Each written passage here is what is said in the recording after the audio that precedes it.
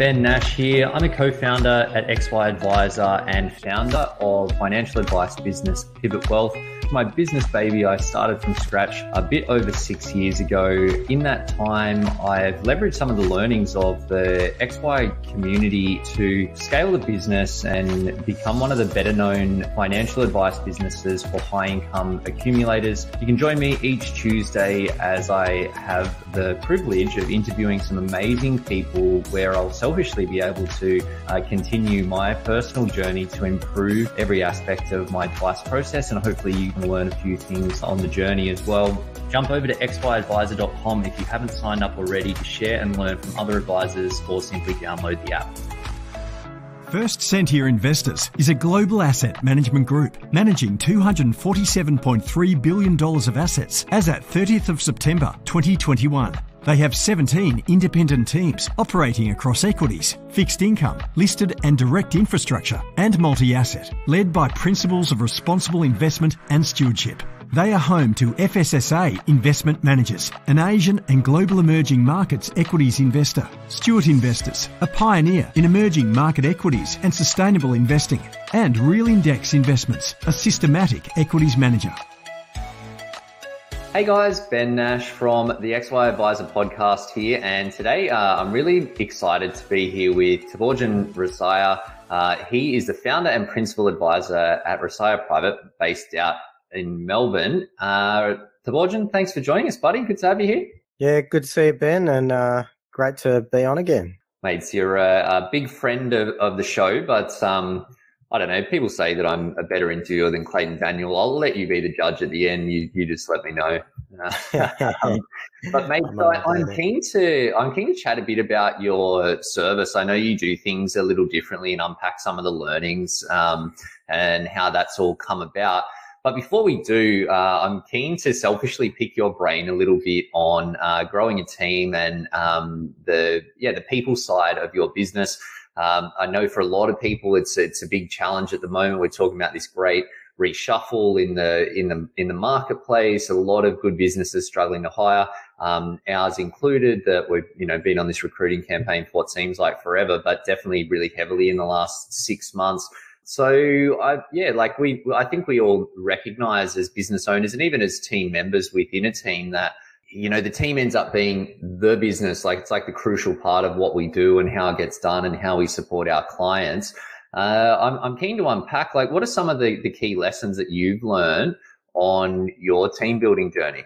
Yeah, look, I mean, building the team is so, it's such a challenge because as you said, the people are incredibly important uh, for the delivery of everything. You know, we're a people business. We're helping just real people and you know having the right team members is critical for the, the delivery of that um, yeah. and i guess like in any business you know having the people the right people to work together as well is is a challenge so yeah, yeah. It, it's it's really hard and and i don't think i've got any answers of how to do it but i do know that what we've tried to do is not just look at people on paper but really try and get deeper with them.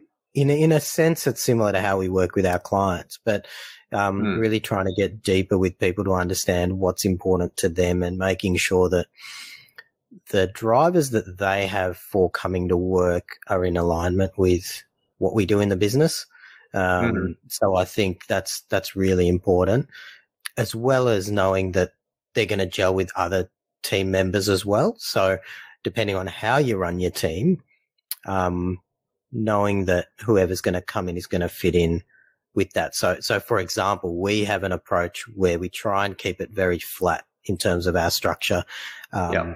I'm happy to sit there, you know, licking stamps if I need to to send things out to clients or yeah. wrap, you know, wrap Christmas presents. Uh, you know, me and the other senior advisor, Simone, we sat, we, we got together and caught up for four hours and wrapped wrap books to send out to clients um, last year, and you know you, you do what you got to do. So I mean, from our cultural perspective, we need everyone to be comfortable that it's it's not about us as individuals; it's about the clients at the end of the day and the business and getting done whatever needs to be done. So you roll your sleeves up, you know, you help each other out. So that's one of the things that's, as an example, of, of we always look for that those mm. characteristics. Um, the other thing is we we look at character, character, and what's important to people. We because we take a heavy uh, focus on purpose and values with our clients, um, where it's mm. not just about making lots of money. Um, we think that our staff and team members also need to have a similar approach.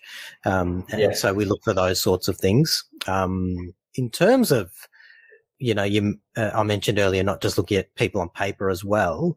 I think skills are skills and experience and knowledge in particular areas, you know, is important and it, and it helps. But I tend to prefer to find aptitude. So people that want to learn, people that are good at learning, people that have the right way of thinking about things because, um, mm. and I've seen this before. I've picked up staff before who ended up being really, really good and they found it hard to get a role because they didn't have Xplan experience, for example. Yeah. Um, but, but we sort of said, well, that's okay. We'll teach them that. And, and lo and behold, we hired them and they picked it up, you know, super quickly and you know, mm. it, it, it actually didn't, didn't, didn't impact, impact their ability to do the job, whether they knew Xplan or not beforehand. What they needed to show was the ability and the desire to want to learn and the ability to learn. So, um, I think that's, that's again how, how we approach it anyway. Yeah, and and practically, how do you do that? Because you you know you mentioned a handful of things there. You're talking about alignment, you know, the cultural side, the purpose, uh, also aptitude, ability to learn and, and pick things up. For me, I find it challenging to, um, yeah, to, to assess all of those things when you're having conversations. And our interview process has, has evolved significantly. I've been lucky enough to have the help of a, a really good mate of mine who is a, a, organizational psychologist and he helped us sort of pull out what are the core competencies for the role. And then there's a bunch of like recognized ones. And then there's all these questions that you can ask around um, you know situational type questions to give examples of things. We also do a bit of psychometric testing and profiling and um, even we've got like a work sample in there. But I still find that the big gap for for individuals is that how do you have someone like you say some of those things that you ability to pick things up and um, really to work well in a team and to deal with challenges and setbacks and those sorts of things. And like you can ask tons of questions but I don't know like it's um yeah I just go shit sometimes you don't know until you suck it and see. And then if you have a you know a bad experience with getting the wrong person that's bad for everybody and you, you know, you mm-hmm. think of the time impact and the costs that come with doing that. It's like total nightmare. So, so you're trying to do everything you can, but I just go, there's just like, I don't know. I just wish that there was a, a test or you could just stick a camera on someone and follow them around for a month, see how they work and, and live and stuff. But uh, how how do you uh, actually tackle those sort of less apparent um, traits and attributes? Yeah, I, I, agree with everything you said. It's it's it's so hard, um, and you can do. Again, I don't have any answers. I actually don't know. The way that we have done it is doing it in different ways. Early on, I just you know talked to people myself and um, found people that I already knew, that sort of thing. Um, I then used recruiters, um, you know, a specialist financial planning recruiter help with a couple of hires, which which worked to a certain extent. Um, excuse me. I've also used um, one of my business coaches who's, you know, I've had different business coaches for different things at different phases and different stages of the business. And so mm. tapping into their expertise has been helpful. So one of those coaches helped recruit for our operations person. And it was very much about identifying the rights, the way that they think as opposed to anything on paper because it was more of an operations role, not an advice related role. Yep. Um, mm-hmm. So, and, and, and they went through a whole lot of psychometric testing, um, numbers of interviews, um, as we did as well. Um, and then I've also had another business coach where we've done a different type of testing, more around motivation testing and things like that to compare what motivates our people. Um, there's yeah. this there's this system that we use that was really insightful for me uh, a couple of years ago called motivation mapping, and so one of our um, coaches introduce that, and we've used that with all the staff that come in to help each other understand the other team members' motivations. Um, yeah. which was which was that's been really insightful for me actually. Um, the, the premise of it just really quickly is that we're all motivated by different things. And a really good example is I like thinking of ideas and how we can take the business forward and how we can do, do something better, for example. So I'm always coming with, with ideas. Um, yeah. and so, you know, in a team meeting, I'll be like, Oh, guys, you know, I've thought of this, you know, what do you think about this? Blah, blah, blah. And I'll be going on about it and, and just see that they're not really getting, getting up and about it, about it. And so I just keep talking about it more and going, Oh, I've got to tell them more about it. You know, why isn't it yeah. interesting? And, um, after doing this motivational mapping thing, I realized, realized that the drivers that I have are different to the drivers that they have. So, um, because we've recruited well, a lot of the team and, and people in different roles, there are some people in the roles where they just, they're motivated by getting stuff done, by ticking things off their list. And yeah. so if I'm talking about a new idea, for me, that yeah, me, but they're thinking, shit, I got to do the work. Yeah, they're like, here we go again. He's got another idea. I've got a bunch of work sitting on my desk, and he's crapping yeah. about something that, you know, that isn't really going to help. So, um, so now in those team meetings, when I do start, I go, hey guys, by the way, if I'm going on about something and you've got work that you need to get done, just let me know, because um, that's what I will. you know, I can go on like that. So, yeah. um, that was really insightful for me. That that exercise. Mm, yeah, I'm definitely um, going to look, look that up um, post this conversation yeah. for sure because it's yeah. The go on. I was just going to say, yeah, it's all about that how people think. I know that our and we got this through our business coach that they're big on wealth dynamics profiling, and it's the same thing that you've got different energies of people. And for me, that's been a huge help in communicating and explaining things to different people at different seats in the in the team. But yeah, it's all those mm. yeah, all of those things that are important to for because it's great to have great team members, but then you want to have a great team that works well effectively. And it's like two different things as well that I know for me, one of the big learnings over the last little while is you go, okay, it's great, let's get great people, but then you you have to translate that to say how do we work, how do we work really well to together? Mm-hmm. Definitely. To, to to answer your broad question in terms of how do you how do you cut through, you know, we've got tests, we've got different processes for recruiting and things like that but I haven't found any way that helps apart from having lots of conversations. Um, mm.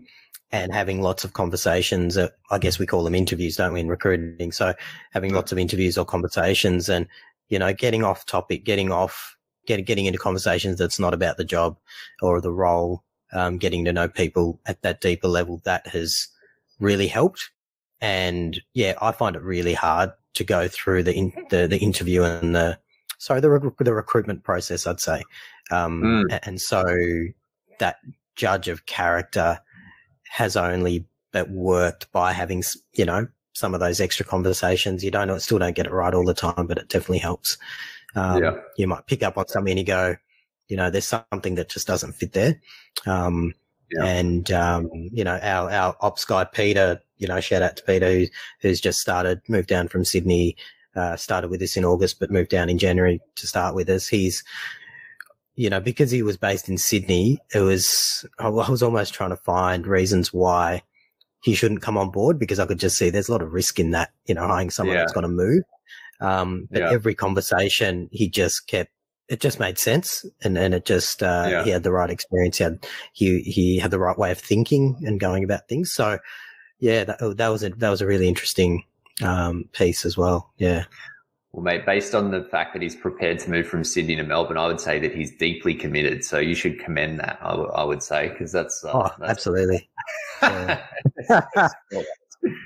um, that's right. Mate, Last last question on hiring is just around advisor hiring, and it sounds like you've got a great you know senior advisor in the in the business already, as well as the, you know senior um, team members. That you know we're looking to hire advisors at the moment, and it's something that I've found challenging to find. You know, you've got a reasonably unique sort of service offering, business, and a, and approach. Well, I wouldn't say you well, it's probably unique in a lot of ways, but like uncommon as well. That I found that there's a lot of advisors that have a a lot of experience and they're probably fantastic advisors as advisors. But when you think about all of the things that you want for your role and you know, finding the right, not only a great advisor, but a great advisor for your business and clients and team and approach. Like, um, what what would you say are the the key lessons that you learned uh, around that, or what do you think is is really important in going down that path?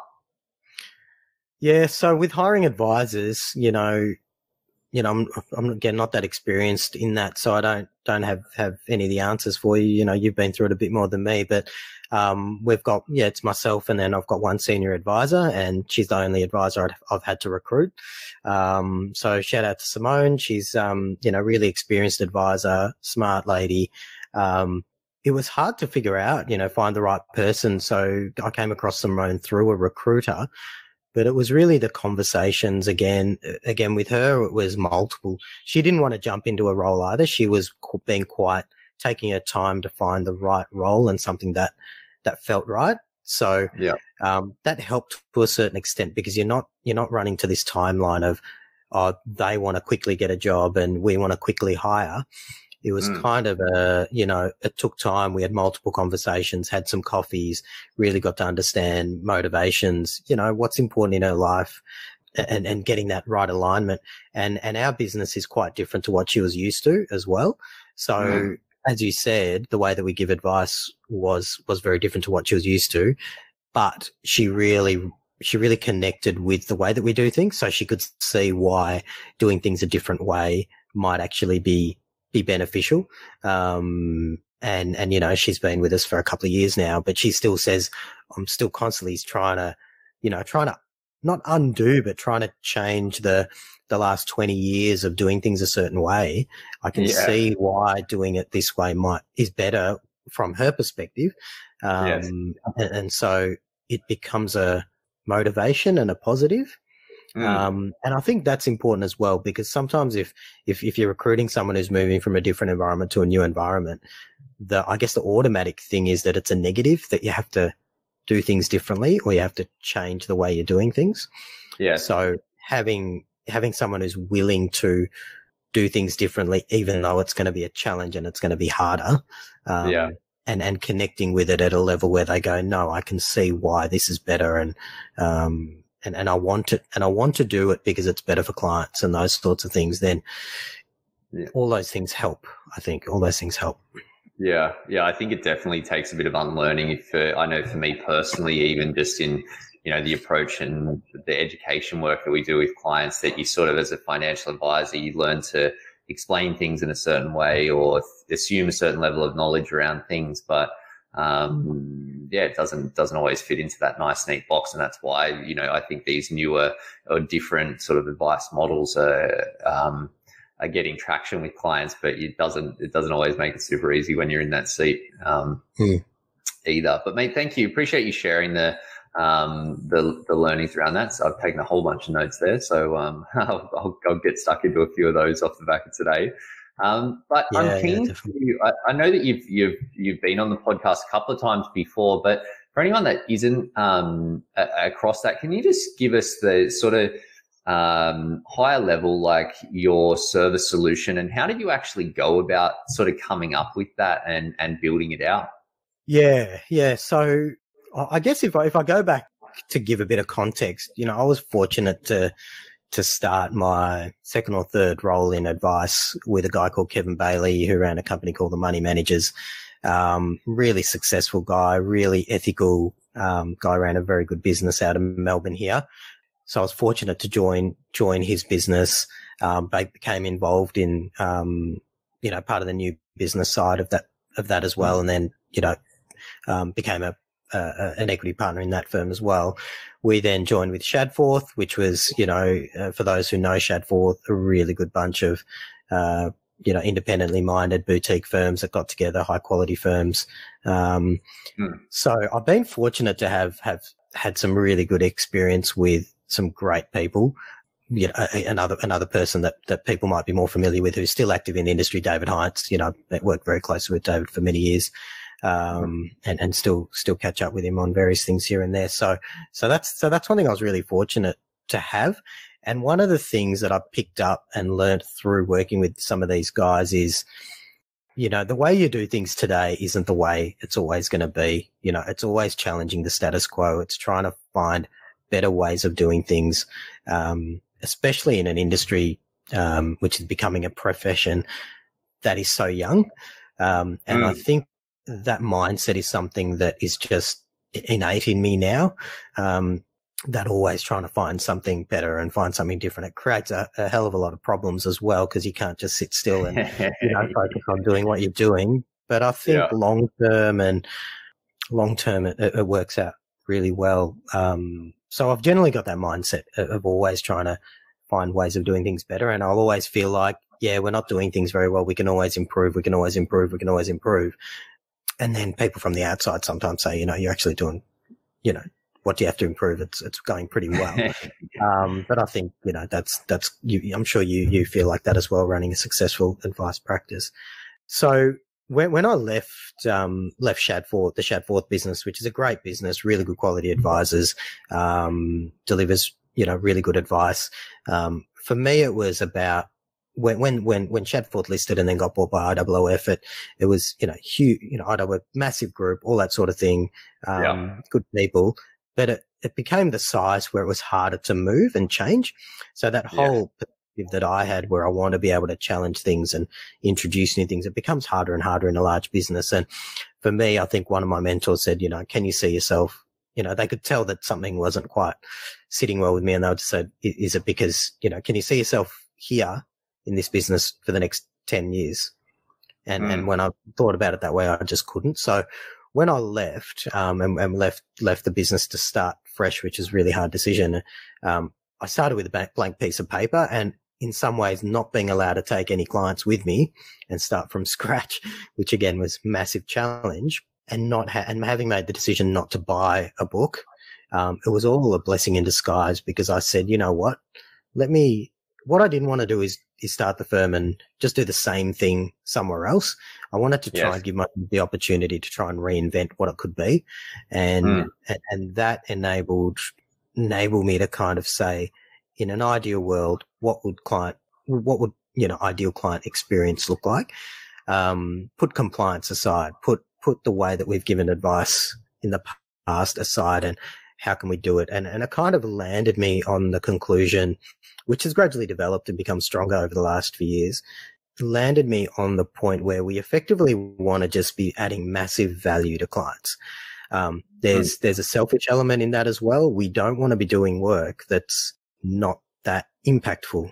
I guess there's lots of ways to make money in our, in our business in financial planning. And yeah. that's all, that's all fine. I think for me, I said it's not just about making money. It's about, you know, having impact in the world and having the impact in people's lives. And so in order to do that, my assessment was we needed to approach it in a particular way. We needed to be not focused on products, but focused on the clients that we have. And a lot of these things are consistent with some of the messaging out there from, from, you know, other advisors and, you know, I think in the XY group as well. But, you know, really challenging ourselves on that to make sure that there's nothing that's going to push us in the wrong direction when we're trying to do add, add that massive value yeah. to clients. Yeah. Hmm. Um, so that's kind of a high level premise, which which I think is important in in the way that we try and try and run the business. So when you were when you were working through this process of you know blank piece of paper, you're thinking about the client experience. I'm just interested because I know that a lot of people in the XY community are either you know considering starting businesses or constantly revisiting their service offerings and what they do to to help their clients. Did you start with a specific client in mind or was it targeted? You mentioned you know uh, and i know we were just chatting a little bit offline but about like clients that you can add massive value to. Like client experience is obviously very very important but then when you're building that advice practice it's like well what what are you actually going to do? Like what problems are you going to solve how did you tackle that part of of your service development I think the reality is with that is that it's gonna it's gonna change and evolve, and for us it definitely has. Uh, we've just um, well last year we introduced a new adjustment to the way that we service our clients, which um, which you know we're testing out, and I think it's it's it's in the in the with the aim of delivering massive value to clients and doing more for clients and adding more value to them. So it's I think the starting point is always understanding why you're in the business and what you're trying to do, why and why you're doing it and and so so the way that we the way that I was able to try and come to that is remove the things that you have to do that you don't think are you know for the client. So for a good example is the way that we bring our new clients on. We onboard our new clients without an SOA. We have an ongoing service agreement. to do things for them, to help them with particular things in their life. And mm-hmm. when they need an SOA, we do an SOA. So starting with a blank piece of paper enabled me to go, hang on. So is a statement of advice valuable to the client? I came to the conclusion is that the statement of advice itself is not. It's an important piece when you're making certain recommendations, but the client doesn't value it.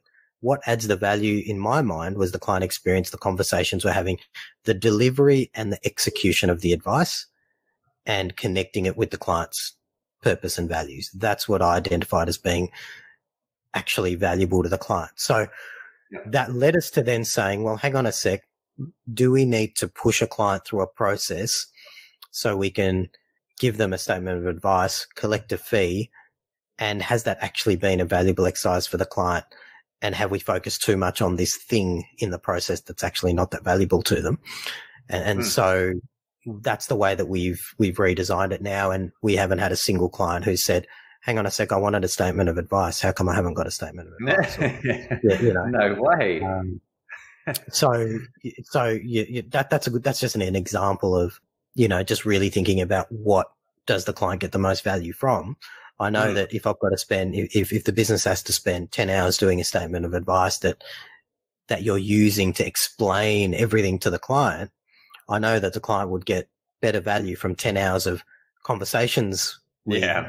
with the advisor or members in the team explaining the advice. So yeah, it's a diff, yeah. Th- and, and that's sort of the test that we've always had. Is this a, is this valuable to the client or not? Yeah. And obviously, you know, you, your business has been going for a bit and you, you know, we all start somewhere and it's great to have a great plan yeah. around what we're going to do. But as for our clients, we know that, you know, life doesn't follow our nice, neat uh, straight lines, and then we learn stuff on the way, and things change and all that sort of stuff. For you, if you think about your service, what and and what you do for clients, and how over the last sort of four and a bit years, what's what have been the biggest changes or shifts in in what you've done, and what what sort of what were the the insights that drove those?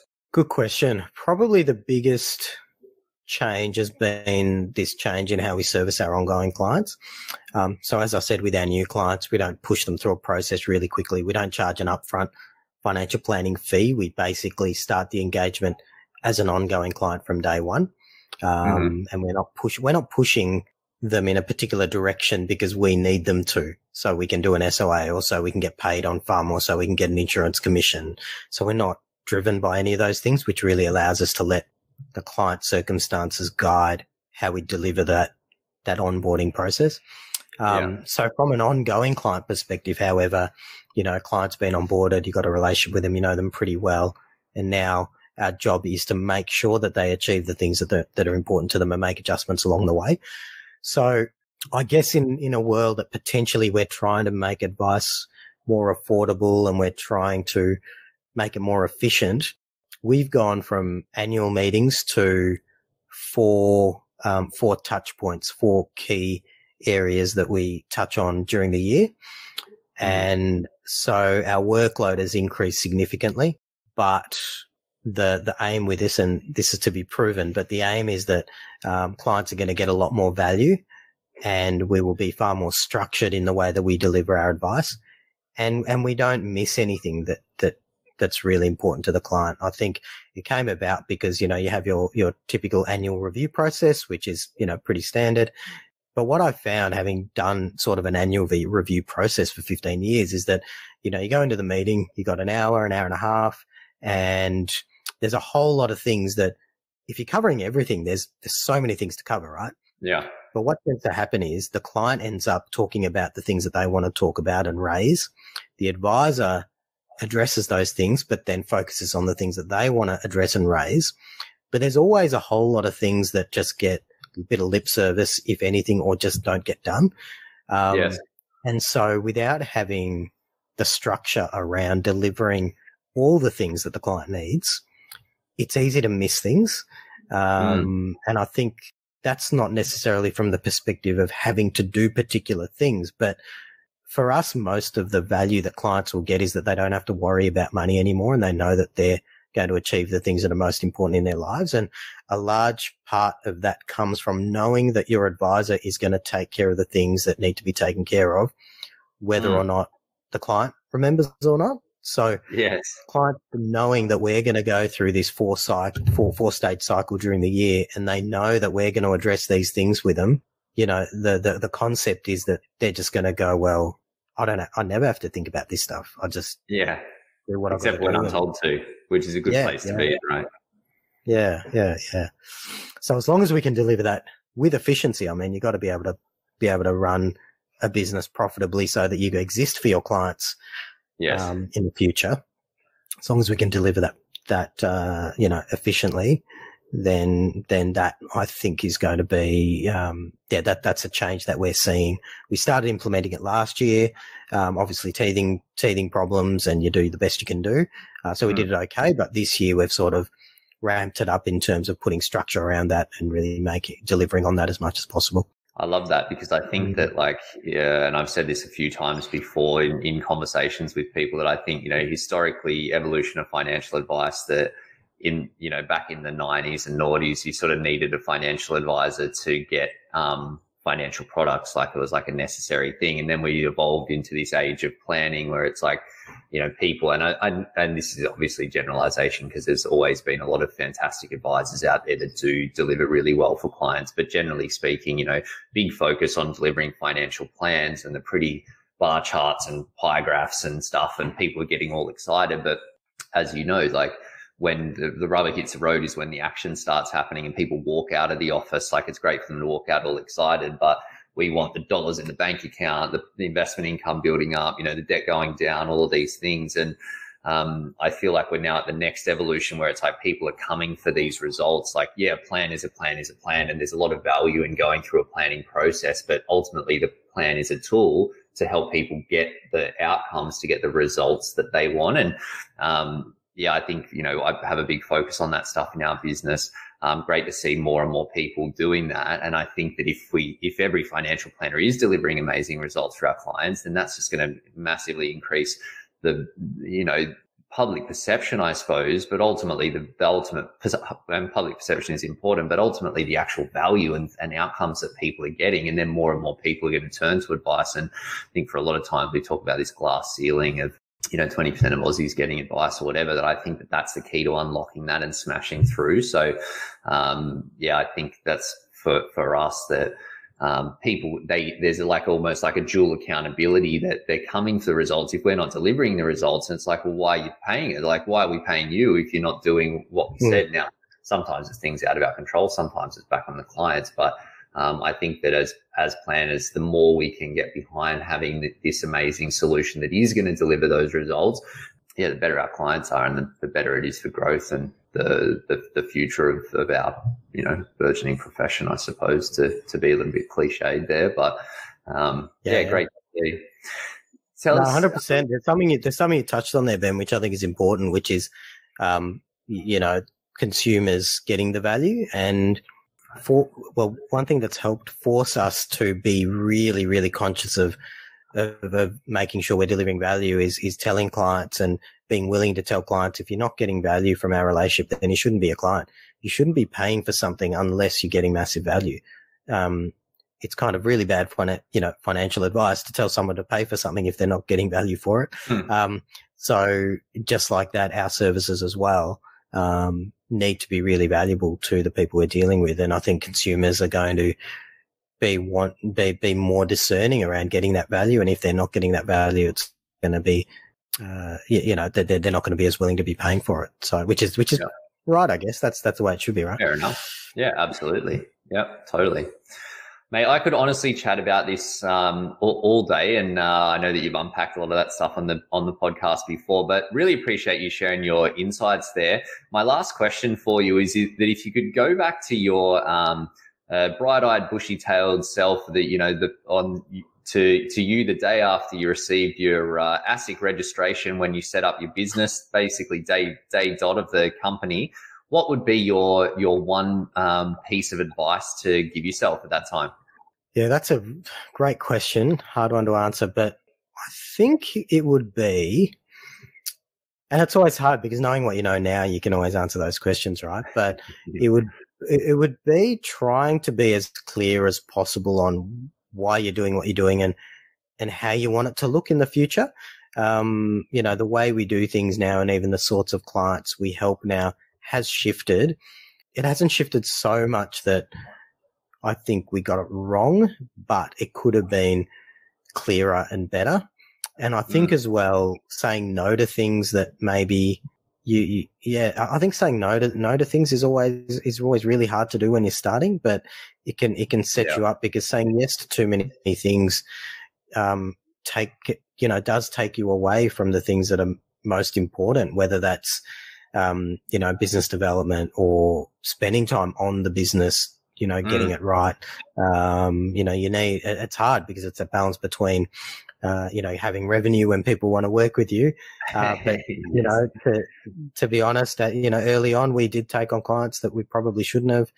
Maybe because we were we were doing too much work for them and, and they weren't paying us enough or something like that, and uh, yep. we hadn't worked out how much we need to charge and enough and things like that. So, but but that that holds you back, and um, the I, I don't know if if if it's possible to know that upfront, but I think it's important to, to, be thinking about those things um, to try and avoid that as much as possible. But absolutely, yeah, and I think it is. I actually just mm. made a note of that to go like, why? Why are we doing what we're doing? Like, what is it for our clients? What is it for our business? What is it for the team? What is it for us personally? I think, um, mm. yeah, it's easy to lose sight of that because you're just caught up doing things and doing the next thing and doing the next thing, and there's always a next thing and ten next things in in front of that thing. So um, yeah. yeah, I think it's a it's a good idea to, to take that uh, stock because when you apply that lens, it does bring a different level of thinking to yeah. If you can if you can start again, like you say, and I think we have the opportunity to reinvent ourselves all the time. Obviously, change management is is challenging, but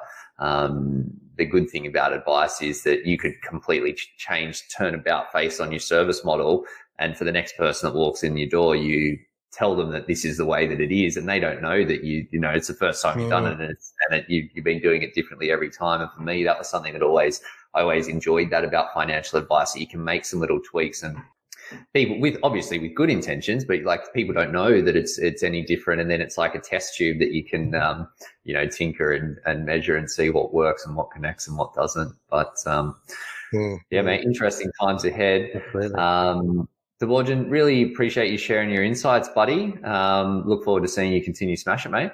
Yeah, no, great to be on Ben and learn from each other and the community. So, no, really great and good stuff on the podcast. Good to have you on. And um, I don't know who's better yet, mate. Whether it's you or Clay, but uh, you, you can tell me. You can tell me off. You can tell me offline. Don't worry. I'll make sure that I relay it extremely accurately to Clay. uh, awesome, man. Okay, thanks again. I'll catch you next time. Yeah, brilliant. Cheers. Cheers. Thanks for the chat.